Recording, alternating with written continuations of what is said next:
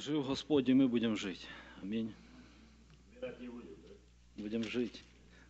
Потому что Господь наш жив, подкрепляет нас, обновляет в силе. Я давно не был у вас на молодежном, чуть больше пять месяцев. Кто-то знает, был в Украине. Кто-то был в Украине. Кто-то был, а кто-то не был. Ну, слава Богу, я там побыл, вернулся. И что я там делал? Там у меня родители живут, родственников много. И также участвовал в служении.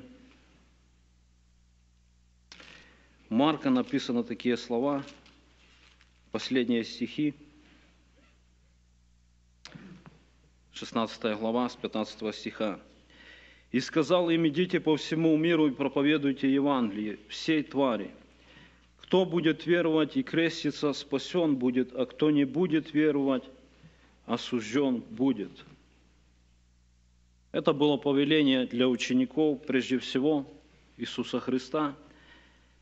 Сказал, идите, Иисус Христос, и проповедуйте всем людям, всей твари здесь написано. Кто будет веровать и креститься, тот будет спасен. А кто не будет веровать, будет осужден.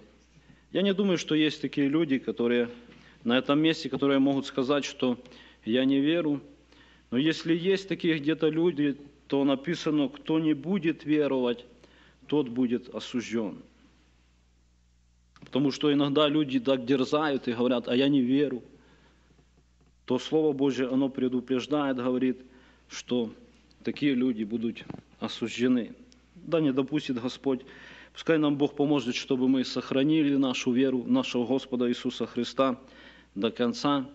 Знаете, когда я приехал в Украину, я прежде всего взял себе там машину такую небольшую – чтобы можно было ездить, потому что э, там не, не во всех есть свой транспорт, не во всех есть машины, и люди, много людей, они ездят общественным транспортом, это маршрутки, автобусы, в городе троллейбусы, там, поезда и так дальше. И иногда, когда я бывало ехал по дороге, то люди так махали, останавливали для того, чтобы э, куда-то подвести по дороге их, если я еду в том направлении, куда им нужно. И помню один такой случай. Я ехал в областной центр. Э, это самый главный город, как нас Бойзи в штате. Э, а я в селе жил у своих родителей. Тогда как раз был зима, холодно. Я на машине, минус 25, я не знаю, сколько это будет по Фаренгейту по Цельсию минус 25. Это, ну, это холодно, это мороз. Ну, где-то примерно так само. И вижу, один человек стоит и останавливает. Я остановился, взял его, он ехал в район, в районный центр, а мне надо было в область. И когда я брал попутчиков, я старался как-то им рассказать о Господе, потому что я там знаю язык. Здесь, к сожалению, в Америке еще не знает. Даже меня, когда на границе спрашивал таможенник, говорит, почему ты, говорит, не, до сих пор не выучил. Знаете, я даже не мог объяснить, почему. Но там знаю язык, и я старался как-то свидетельствовать. И этот человек, он начал, такой разговорчивый попался, рассказывать о своей жизни, потом рассказывать, где он служил, где он воевал. И знаете, я пытался как-то вставить несколько слов, и уже потом перешел на политику, и потом на людей, что все люди такие плохие, все плохо. И, знаете, я цепился за эти слова и говорю, да, люди, они не идеальные, но есть Бог. Он говорит, ты знаешь, я верю в Бога.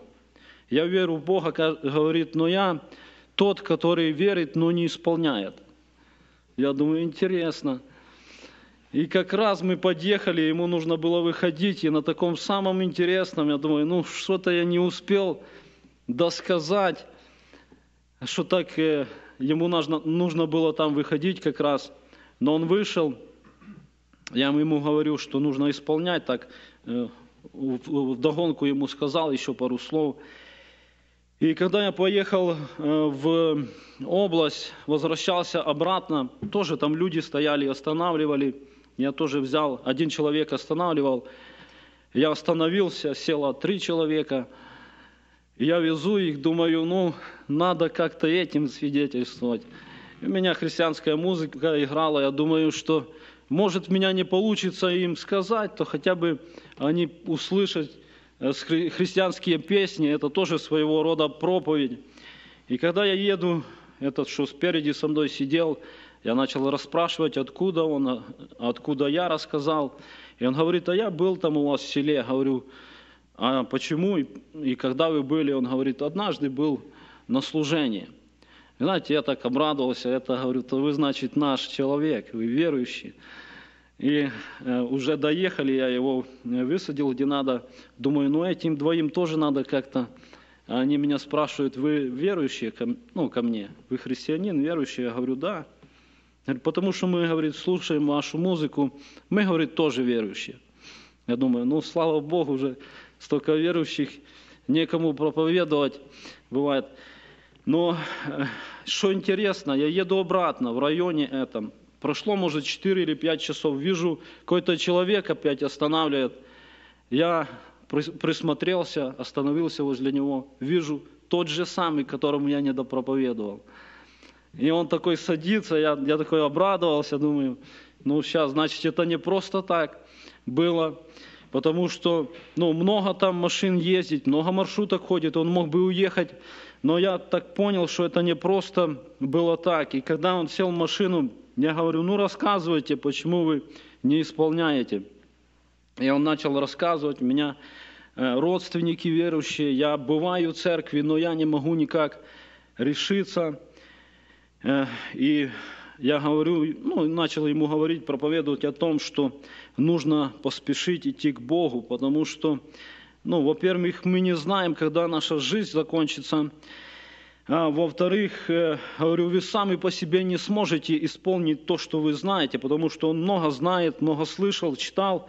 Говорю, вам нужен Христос. Вы должны принять Его, вы должны познавать Его, и таким образом у вас будет получаться. Вы сможете идти этим узким путем, которым проложил Иисус Христос. Слава нашему Господу. И также бывали такие моменты, когда я свидетельствовал с молодыми людьми, Э, э, это было в Киеве, э, в той церкви, где я принимал крещение, где Бог меня крестил там Духом Святым. Там был такой молодой человек, его звали Ростик, 22 года. Он такой активный был, всегда мы ходили в центр города и там проповедовали. И он постоянно, он был ответственный за это служение в этой церкви, постоянно мне звонил, или ты пойдешь, и когда была возможность, я старался пойти с ними. И там, интересно, стояли мы с такими плакатами, где говорилось о Боге, такие интересные вопросы задавались, и люди сами подходили, подходили и э, расспрашивали, почему вы стоите, что это значит.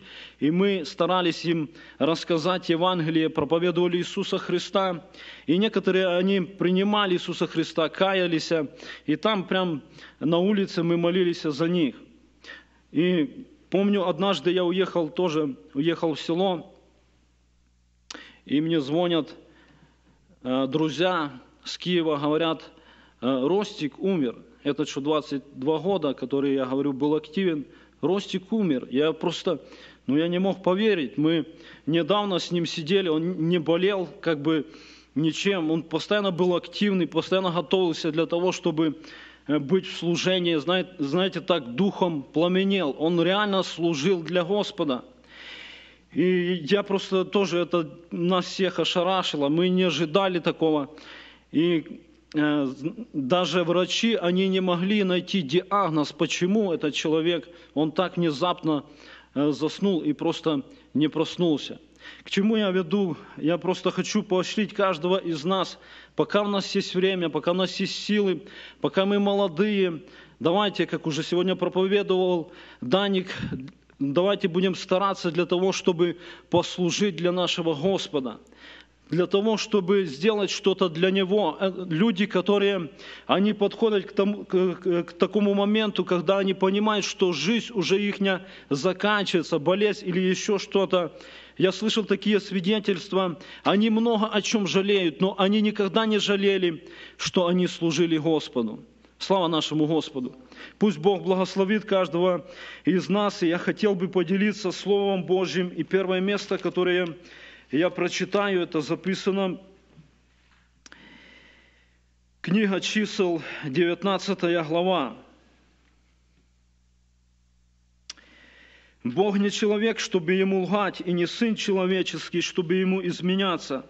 Он ли скажет и не сделает, будет говорить и не исполнит. Еще одно место, такие слова, здесь записано уже Галатам, 6 глава 7 стиха. «Не обманывайтесь, Бог поругаем не бывает, что посеет человек, то и пожнет. Сеющий плоть свою от плоти пожнет тление, а сеющий в дух от духа пожнет жизнь вечную». Первое место я прочитал о том, что здесь говорится, Бог не человек, чтобы ему лгать, и не сын человеческий, чтобы ему изменяться – Я не знаю, я думаю, что каждый из нас, мы встречались в жизни с таким моментом, когда кто-то нас обманывал.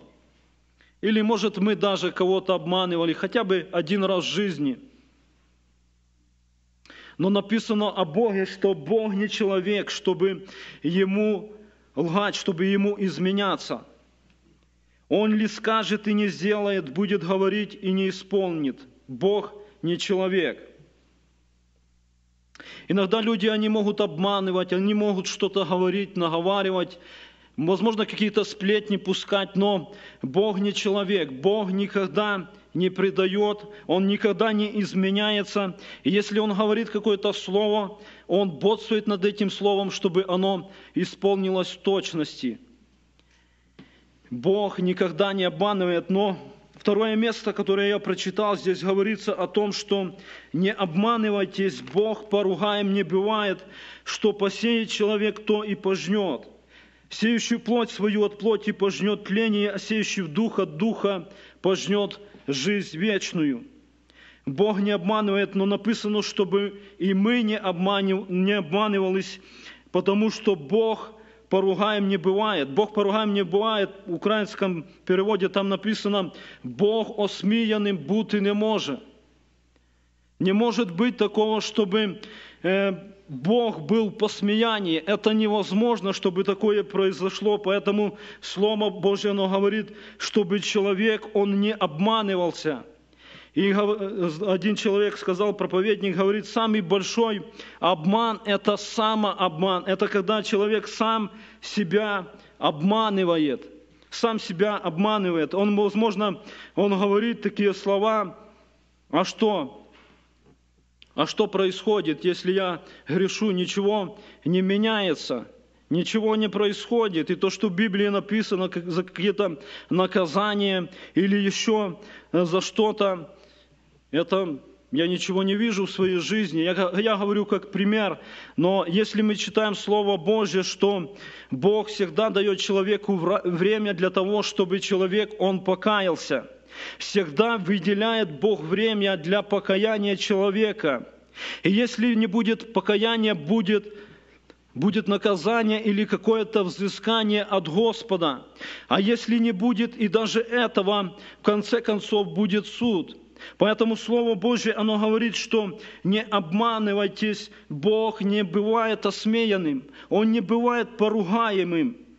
И кто сеет плоть, он от плоти пожнет тления. 5 глава, 19 стих здесь говорится, «Дела плоти известны, они суть прелюбодеяния, блуд, нечистота, непотребство, идолослужение, волшебство, вражда, ссоры, зависть, гнев, расп, разногласия, соблазны, ереси, ненависть, убийство, пьянство, бесчинство и тому подобное». И дальше апостол Павел, он говорит, предваряю, то есть предупреждаю вас, как и прежде предупреждал, что поступающие так Царствие Божие не наследуют. Поступающие так Царствие Божие не наследуют. Пускай нам Бог поможет, чтобы мы никогда не обманывали себя, чтобы мы не успокаивали свою совесть. Бог, Он верный своим словам. Он как верный, что Он благословит человека, который идет за Ним, который любит Его, который будет служить Его. Также Он верный в тех обетованиях, что если человек, он неправильно ходит, будет взыскание, будет наказание, но э, лучше быть э, или понести наказание в этой жизни, э, написано, кого я люблю, того наказываю, чем в вечности, знаете, вечно э, мучиться. Исаия 55 глава, давайте откроем, кого есть в Библии. Исаия 55 глава, 6 стиха. «Ищите Господа, когда можно найти Его, призывайте Его, когда Он близко» да оставит нечестивый путь свой и беззаконник помыслы свои, и да обратится к Господу, и Он помилует его, и к Богу нашему, ибо Он много милостив. Мои мысли не ваши мысли, не ваши пути, пути мои, говорит Господь. Но как небо выше земли, так пути мои выше путей ваших, и мысли мои выше мыслей ваших как дождь и снег не сходит с неба и туда не возвращается, но напаяет землю и делает ее способную рождать и произвращать, чтобы она давала семя тому, кто сеет, и хлеб тому, кто есть. Так и слово мое, которое исходит из уст моих, оно не возвращается ко мне тщетным, но исполняет то, что мне угодно, и совершает то, для чего я послал его. Так и слово мое, говорит Господь, когда исходит из уст моих, оно не возвращается тщетным, но делает то, для чего я послал его. Какое сегодня мое отношение к Слову Божьему? Написано, апостол Петр, он пишет, «Возлюбите чистое словесное молоко, дабы от него вам вырасти во спасение». Возлюбите, нам нужно полюбить чистое словесное молоко. И Библия, она является чистым словесным молоком. Слово Божье, оно является чистым, потому что мы иногда любим слушать проповеди, я слушаю проповеди, но знаете, проповеди не всегда бывает чисто. Иногда есть разные проповеди, которые, возможно, мы слушаем на Ютубе, но бывают там даже и заблуждения, и неправильные толкования. Я был в Украине, встретился с одним человеком, он просто читал комментарии э, для Библии, и он принял эти комментарии как за истину и попал в серьезное такое заблуждение, с которым его просто я с ним долго говорил, мне казалось невозможно его вытащить отсюда. Поэтому я хочу хочу призвать каждого из нас, чтобы мы читали Слово Божье, чтобы мы вникали в Его. А для этого нужно полюбить это чистое словесное молоко, от которого мы возрастем во спасение. Так говорит Слово Божье. Нужно полюбить это Слово.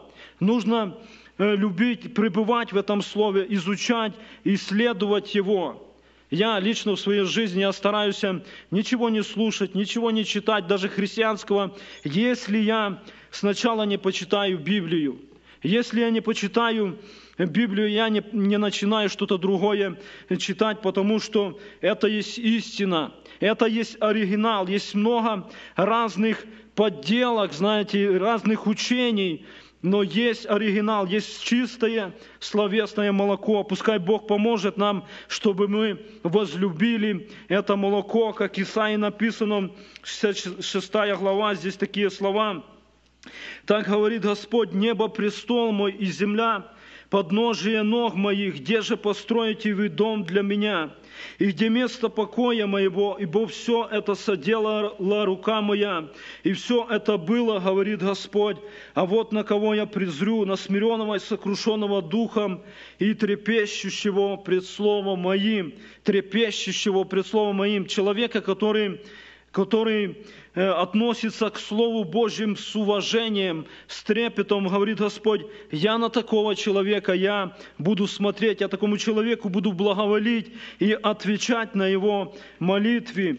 И это место, которое я прочитал, здесь говорится, ищите Господа, когда можно найти Его, призывать Его, когда Он близко. Возможно, будет такое время, о котором пророчествовали пророки, что будут ходить от моря до моря для того, чтобы, чтобы услышать Слово Божие, чтобы найти это Слово, но не найдут. Там говорится, молодые люди будут ходить, и они не смогут найти живое Слово. Но сегодня Сегодня написано, призывайте Его, когда Он близко. Сегодня время благоприятное. Сегодня Господь, Он говорит нам. Поэтому давайте используем это время для того, чтобы нам укрепиться в Господе, чтобы нам напитаться в Нем, чтобы нам стоять твердо, чтобы стоять непоколебимо. А для этого необходимо возлюбить чистое словесное молоко. Так написано. Псалом 104, 4 стих. Ищите Господа и силы Его, ищите лица Его всегда. Ищите Господа и силы Его, ищите лица Его всегда. Так написано в Слове Божьем, чтобы мы всегда искали Господа. И написано, чтобы мы лица Его всегда искали. И иногда человек спрашивает, для чего искать Господа? Один однажды меня спросил, для чего, говорит, Бога искать? Он что, где-то, ну, потерялся? Он так выразился. Я говорю, не, Бог не потерялся, просто мы иногда теряем с Ним отношения. Мы иногда теряем Его, и мы, как Давид, он говорит, что я всегда видел Господа, но бывают такие моменты, когда человек, он перестает видеть Господа, и он начинает колебаться, он начинает сомневаться, у него теряется вера, то для этого написано, чтобы мы всегда искали Господа, чтобы мы занимались этим постоянно. Когда Иисус Христос, Он ходил по земле, многие люди искали Его по разным причинам. Даже были такие, которые искали, чтобы убить Его, когда Он был младенцем. Помните, Ирод, он искал убить, но э, мудрецы, они приходили для того, чтобы поклониться Иисусу Христу. Другие приходили для того, чтобы получить исцеление или освобождение, или какую какую-то помощь, но если вы помните 19 глава Луки, там написано об одном человеке, который жил в Ерихоне, и он был невысокого роста, и у него было одно желание, чтобы видеть Иисуса – у него как бы такой сильной нужды не было, но у него было желание, чтобы видеть Иисуса, кто Он такой есть. И он даже приложил усилия, он вылез на дерево. И когда Иисус проходил, он называет его по имени и говорит, Закхей, сади скорей, ибо сегодня мне надо быть тебя в доме. Бог знает и видит человека, который ищет Его от всего сердца. И если ты сегодня ищешь Господа, если ты стремишься, как Давид, он говорит, что душа моя жаждет Его, и если ты сегодня жаждешь, ты обязательно найдешь Его, потому что Слово Божье так говорит, что если человек, он ищет Его, то Он дает, его, э, дает найти себя. Слава нашему Господу! И написано, что ищите Господа, ищите лица Его, всегда ищите. Я был в Украине и слышал такую проповедь, ищи Господа, как потерянный телефон. Такую однажды человек, он сказал э, проповедь, он сравнил как бы поиск Бога, ну, говорит, потому что когда мы теряем телефон, мы, мы готовы даже на собрание опоздать, но нам нужно его найти. Потому что, может, кто-то позвонит, может еще что-то. Если он еще дорогой, последняя модель там какая-то, то еще мы больше его ищем. Если для нас дорог Господь, мы будем искать Его. Я помню, однажды я потерял кошелек. Я потерял кошелек, и там были карточки у меня, драйвер license, и я, я сильно не люблю вот эти документацию, вот эту все решать, ходить там, тем более в Америке здесь не знаешь языка я начал искать этот кошелек. Это было уже вечером, я его где-то днем потерял. И я лежал и думал, где я потерял. Я возвращался мыслями, я вспомнил, что я где-то там на дереве был. Я взял фонарик и полез на дерево. Искал там, думаю, может, где-то я его там положил как-то. И начал вспоминать, нету. Я вспомнил, что я на крышу лазил. Я за фонарика полез на крышу. И тоже там не нашел. Оказалось, что он был у друга моего. И знаете, я, я просто хочу сказать о том, что если для нас есть что-то ценное, мы будем прилагать усилия для того, чтобы найти. Если Господь, Он для нас является ценностью, я желаю для каждого из нас, чтобы Он был у нас на первом месте, мы будем прилагать тогда все усилия для того, чтобы искать Господа, для того, чтобы искать лица Его, для того, чтобы как написано, ищите Господа и силы Его, ищите лица Его всегда. Давид говорит, и я буду искать лица Твоего, я буду этим заниматься, потому что мы зависимы от Господа. Бог от нас не зависит. Он не зависит от нас, но мы от Него зависим.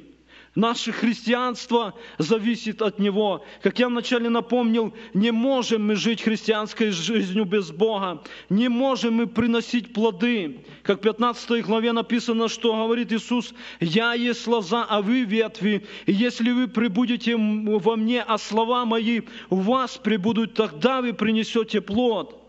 Тогда будет результат, тогда наша христианская жизнь, она будет светом для других. Нам необходимо каждый день, когда мы просыпаемся, искать Господа. Если Господь со мною сегодня, где Он есть? И я помню, один человек, он говорит, я, когда начинаю свой день, я стараюсь исполниться Духом Святым. И если я не исполнюсь, я не иду на работу. Знаете, мне очень понравилась эта мысль, и я стараюсь тоже это практиковать. Когда, когда начинается день, ты ищешь Господа, ищешь Его присутствие. И я вам даю, ну, я даю просто из своего опыта я даю вам гарантию, что если мы ищем от всего сердца, пребываем в Слове, в молитве, рано или поздно ты ощутишь, ощутишь, что Он пришел в твою жизнь. Ты увидишь Его действия в своей жизни, и ты начнешь славить Его, если ты будешь это делать от всего сердца. Бог верный, слава нашему Господу. Бог верный, поэтому Слово Божье говорит, чтобы мы не переставали искать Господа, чтобы мы занимались этим постоянно. Э, написано, ищите Господа и силы, и силы Его. Ищите Господа и силы Его. Однажды Иисус сказал ученикам, не отлучайтесь от Иерусалима, ибо вы примете силу, когда сойдет на вас Дух Святой. Не отлучайтесь, ожидайте. И ученики, они ожидали, они были в таком ожидании, они ожидали, когда же это случится, что это должно происходить такое, когда эта сила, она придет в нашу жизнь. И однажды, когда они собрались, написано, единодушно они были вместе, и в один момент Господь пришел – он наполняет их Духом Святым. И до этого времени они прятались, боялись, а тогда вышли на служение, потому что пришла сила от Господа. Слава Господу. Возможно, ты сидишь на этом месте и думаешь, у меня нету силы, нету способностей, я сам еле стою, как я могу, э, могу служить. Но я тебе гарантирую Словом Божьим, что если ты будешь искать Господа от всего сердца, придет благодать, придет сила от Бога, и ты сможешь пойти для того, чтобы служить для других людей. Слава нашему Господу! Бога есть сила. Написано, Давид говорит, однажды мне сказал Бог, и дважды я слышал, что сила у Бога. Слава нашему Господу. У Бога есть сила для твоей и для моей христианской жизни, но вопрос, сколько я времени провожу для того, чтобы искать Его, сколько я стараний прилагаю, или я вообще пощусь для того, чтобы взыскать Господа, чтобы Он пришел и в мою жизнь. О том, что говорят братья, возможно, мы слышим много, а сегодня как в моей жизни? И знаете, когда Бог приходит, Он приходит своими благословениями, Он приходит своей силою. Иисус Христос однажды обратился к ученикам и, кажет, и говорит, что молитесь, чтобы не упасть в искушение – и сам отошел на вержение камня. Это недалеко, как камнем докинуть. И он начинает молиться. Господь, он не только говорил, но он так делал. Он молился. И когда он молился, написано, что ангел явился и додавал ему силы. Там написано в украинском переводе, и додавав ему силы. Ангел Божий явился и дал ему силы, чтобы он мог пройти свою дорогу. У Господа есть сила для нас. И если мы будем, будем искать Его, мы обязательно Ему, Его найдем. Мы обязательно Его найдем, если мы будем делать это от всего сердца, если мы будем стараться делать это от всего сердца. Пускай Бог благословит каждого из нас, чтобы мы искали Господа, искали силы Его, искали исполнение Духом Святым. И я знаю, что здесь много людей, они крещены Духом Святым, но, возможно, вы сейчас не видите большой разницы. Иногда мне люди, они подходили и говорили, посмотри на того или на того, да, он крещен Духом Святым, но скажи, покажи, какая разница. Дорогие братья и сестры, если мы имеем этот дар от Бога, этот подарок, подарок иных языков, но если мы не практикуем, большой разницы не увидят другие люди. Только когда мы практикуем, когда мы молимся, когда мы исполняемся Духом Святым, тогда другие люди, они увидят разницу. Они увидят, что ты другой человек стал. Они увидят твою жизнь. Они увидят в твоем поведении, в твоих словах, что это не просто человек, который говорит, но действительно с ним Бог, с ним Бог, потому что такой человек, он старается всегда искать Бога, у него появляется взаимоотношения с Богом, он молится, и он получает ответ на молитву. Дорогие братья и сестры, молодежь, я, я верю и я уверен, что Бог, Он любит каждого из нас – он любит каждого из нас, и я верю, что Он посылает свое слово и сегодня в какое-то сердце, и вы слышите это слово, и я слышу это слово. Поэтому давайте обратим свое внимание на Слово Божье. Бог, Он не, не, не человек, Он не обманывает. Если Он говорит, что если ты будешь искать меня, ты найдешь меня. Если Он говорит, что если будешь искать силу мою, ты найдешь. Если будешь искать крещение Духом Святым, ты ты найдешь, если ты будешь искать исполнение, оно придет в твою жизнь. Если ты будешь искать Его, мы зависимы от нашего Господа, поэтому я желаю каждому из нас, чтобы мы не переставали искать Господа в нашей жизни. Я не знаю ваше состояние, какое сейчас, в каком состоянии вы находитесь, но знаете, когда мы ищем Бога, когда Господь приходит, Он всегда поднимает нас, потому что написано, Он трости надломленной не приломит, и льна куращего не угасит, Он поднимает человека, и Он показывает ему, куда идти, куда направляться.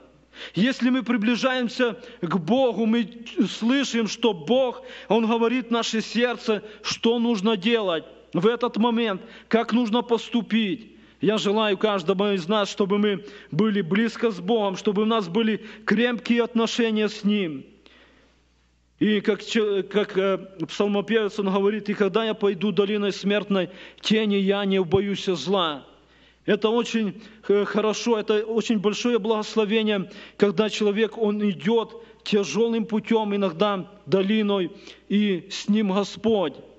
Он не боится тогда зла, он, он чувствует его присутствие, как я уже напоминал, Давид говорит, что я всегда видел Господа. Посмотрите на его поступки. Да, у него было одно э, записано падение такое серьезное, не, не пободствовал, но если мы посмотрим на его жизнь, он он просто интересные поступки делал в своей жизни. Интересно, он поступал, когда никто, все боялись, все разбегались, но на нем был Дух Божий. Он был исполненным Духом Божиим. И мы без Бога ничего не можем делать. Поэтому я призва, хочу призвать каждого из нас, чтобы мы искали нашего Господа каждый день, когда мы просыпаемся, чтобы мы старались найти Его найти Его присутствие, а Он недалеко, как написано, от каждого из нас. Пусть Бог благословит и поможет нам в этом. Ему пускай будет слава. Аминь. Помолимся.